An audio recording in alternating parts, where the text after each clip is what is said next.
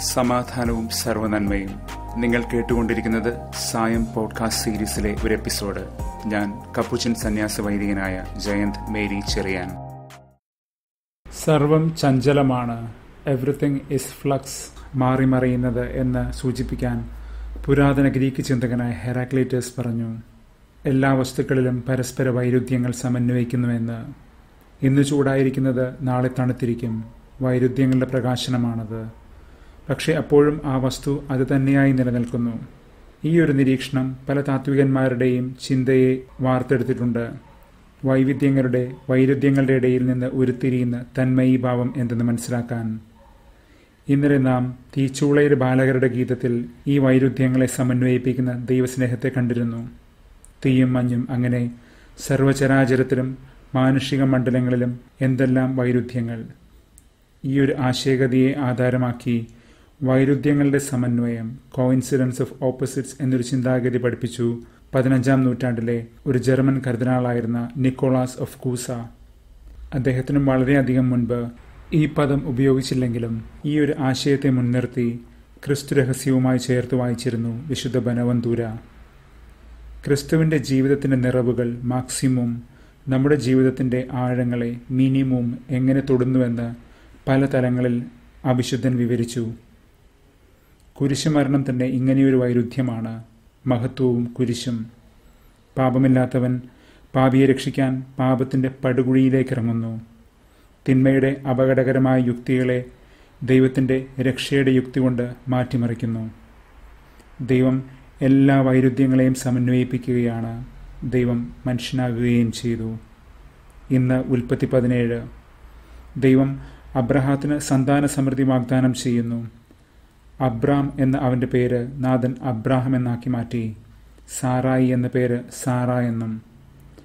അബ്രാഹത്തിന്റെ കഥ വിവരിക്കുന്ന വിശുദ്ധ ഗ്രന്ഥത്തിന്റെ ഈ ആദ്യ പാദത്തിൽ അബ്രാം സാറായി എന്ന പേരാണ്. രണ്ടാം പാദത്തിൽ അബ്രഹാം സാറ എന്നും. രണ്ടിടത്തും പല സന്ദർഭങ്ങളും സമാന്തരങ്ങളുമാണ്. പേരുമാറ്റം ഒരു ജീവിതമാറ്റത്തെ കുറിക്കുന്നുവെന്ന് ഇതിനാൽ നാം തിരിച്ചറിയേണ്ടിയിരിക്കുന്നു.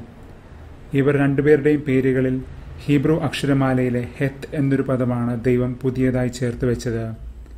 അത് ദൈവനാമം യാഹുവയെ ദ്യോതിപ്പിക്കുന്ന ഒരു ശബ്ദമാണെന്ന് പലരും വ്യാഖ്യാനിക്കാറുണ്ട്.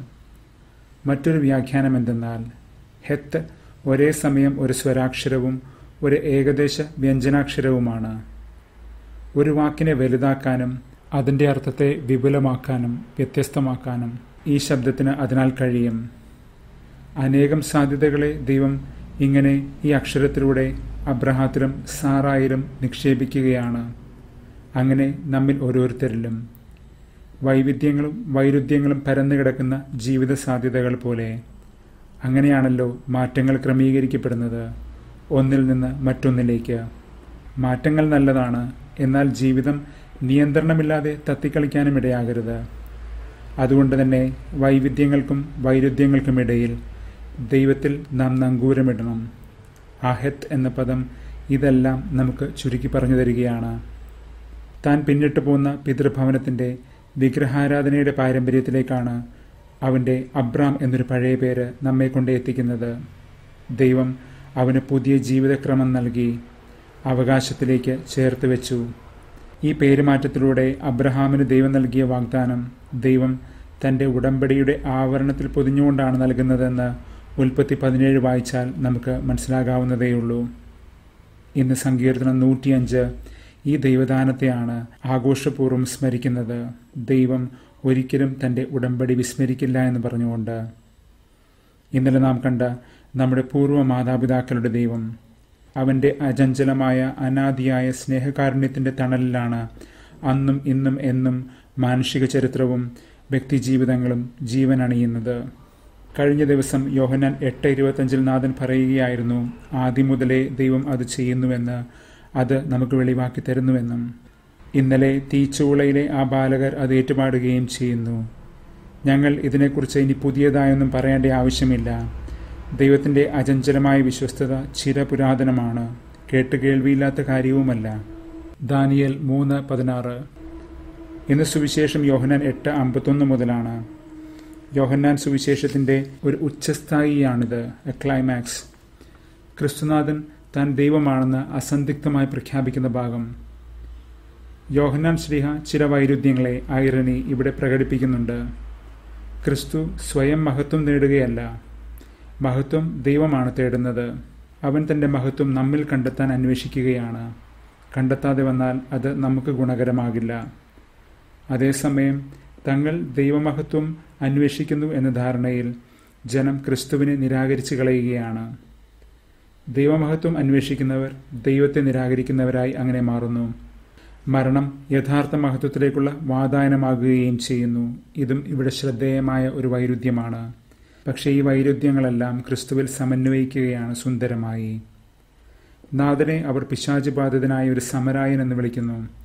ഒരുപക്ഷെ നാഥൻ യഹൂദാചാരങ്ങൾ പാലിക്കുന്നതിൽ വിമുഖത കാണിച്ചിരുന്നിരിക്കാം. അതുമല്ലെങ്കിൽ അബ്രഹാം തങ്ങളുടേത് മാത്രമാണെന്ന യഹൂദജനത്തിന്റെ ആവേശത്തെ അവൻ ഖണ്ഡിച്ചതിനാലാകാം. ഉൽപ്പത്തി പതിനേഴിൽ തനിക്ക് വാഗ്ദാനം ലഭിച്ചപ്പോൾ അബ്രഹാം മുഖം പൊത്തി നിലത്ത് വീണ് ചിരിക്കുന്ന ഭാഗമുണ്ട്. അതും ഒരു വൈരുദ്ധ്യം തന്നെയാണ്. ആരാധനാപൂർവം അബ്രഹാം ദൈവത്തെ കേൾക്കുമ്പോഴും അവന് അതൊരു വലിയ തമാശയായി തോന്നിയിരിക്കണം. നല്ല വയസ്സാങ്കാലത്താണോ കുട്ടി ജനിക്കുന്നത് എന്ന്. പക്ഷേ ആ ചിരി അവന്റെ മായാത്ത ദൈവാനുഭവത്തിന്റെ താക്കോലായി മാറുന്നു. ഇസഹാക്ക് എന്നാൽ ചിരി എന്നാണ് അർത്ഥം. ദൈവം അവന് നൽകിയ വാഗ്ദാനങ്ങളുടെ ആദ്യപടി ദൈവം ഒരു ചിരിയിൽ ഉറപ്പിക്കുകയാണ്.